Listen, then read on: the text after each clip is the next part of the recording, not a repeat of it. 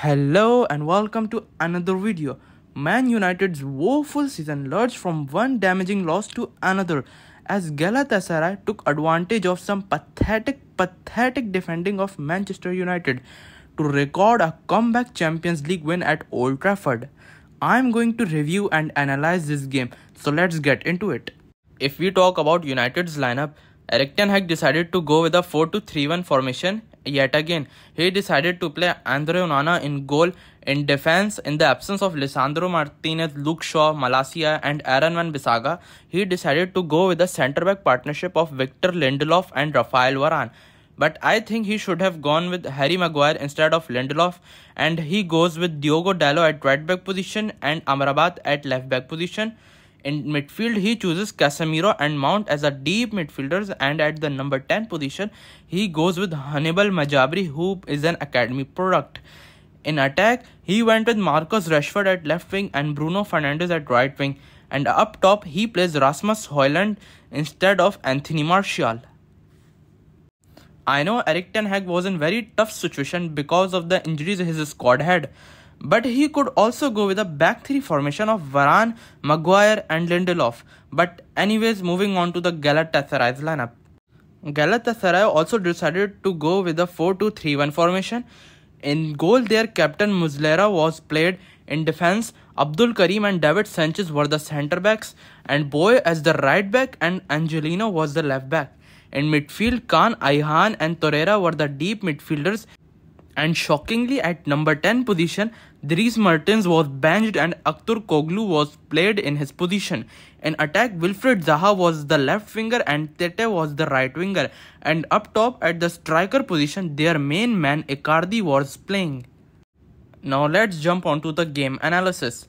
In start, Man United were looking really really solid. The first big chance for Man United came in the first minute of the game when Rasmus Hojlund receives the ball on a halfway line and he beautifully drives the ball on the wing and dribble past Galatasaray's right back Boye and puts an amazing cross in the box for Bruno Fernandes. But Bruno couldn't hit his shot on target. United were looking really really solid both offensively and defensively in the first 10 minutes. The second big chance came for United when Casemiro cleverly chips the ball over Galatasaray's defense for Hannibal. But Hannibal, because of his poor first touch, couldn't convert his chance into a goal and this chance was also wasted. But after 4 or 5 minutes, the breakthrough goal for Manchester United came when Casemiro incredibly picks Rashford with a beautiful lofted through ball and Rashford didn't hesitate for a second to cross the ball to Hojlund and Hojlund amazingly headed the ball into the back of the net. And I am telling you guys that this header of Hojlund was not easy as it looks because of the power that Rashford has put in that cross.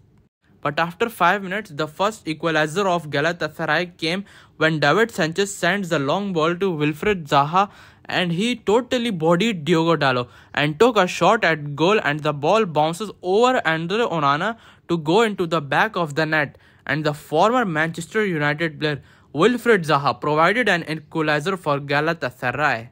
Another chance came for United when Rasmus Hojlund wins the long ball and he totally bodied Abdul Karim and he holds the ball brilliantly and dribbled between three players and lofted it for Rashford who gave through pass to Amrabat who crosses the ball in the box for Mason Mount. But Mount's shot was brilliantly blocked by Abdul Karim and score remains 1-1. Another big chance for United came when Rashford drives the ball and gives a cutback and Mason Mount receives it. And he took a shot and but his shot was blocked by his own player Hannibal Mejbri. After that the first half ended. In the second half, Christian Eriksen brilliantly picks Marcus Rashford's run and he was in 1v1 situation with goalkeeper. But I don't know what was going on in Rashford's mind and he weirdly decided to pass to Bruno who was way behind. And power in his pass was too too low and Boye clears away the ball and because of his mistake the score somehow still remains 1-1.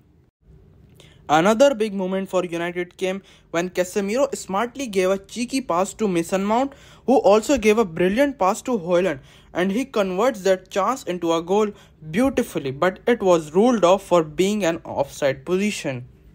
But the second goal for Man United came in the 66th minute when Sanchez slipped and Hojlund collects the ball and he drives brilliantly and Abdul Karim couldn't cope up with his pace and he beautifully finishes by chipping the ball over the leg of the keeper by his sensational goal.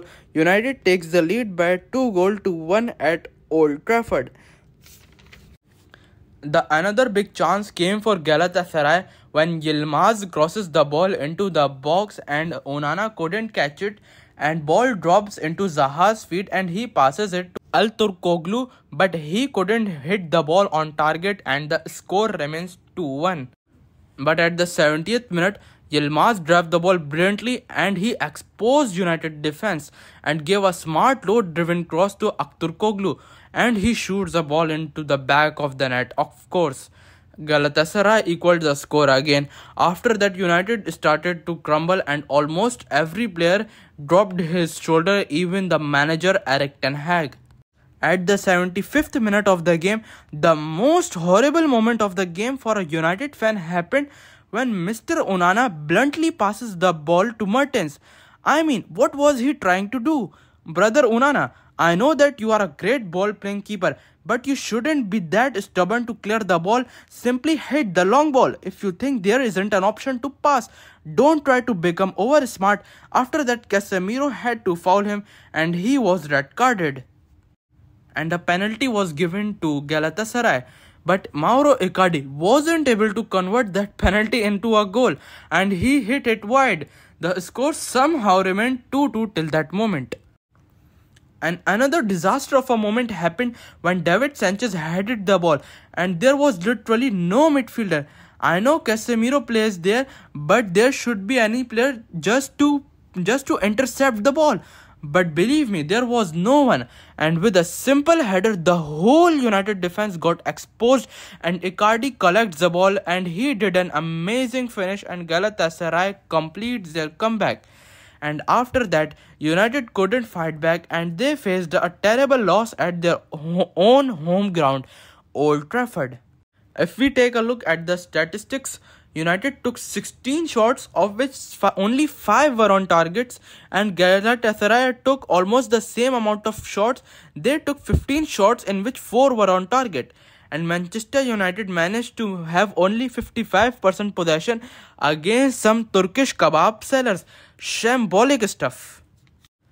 The best United player in my opinion was Rasmus Hojlund and no other United player even comes close and the best player for Galatasaray was Abdul Karim in my opinion. If we take a look at the current Group A standings, we can see that United are last in their group. Even Copenhagen managed to get more points than United. Now United should must win their upcoming games in UCL if they want to remain in this competition. So guys, what do you think what will happen with Manchester United this season? Will they be able to qualify for round of 16 or even further? I really don't know. Write in the comment section. I hope you like this video. If you like this video, don't forget to like, subscribe and share it with your friends. Bye bye.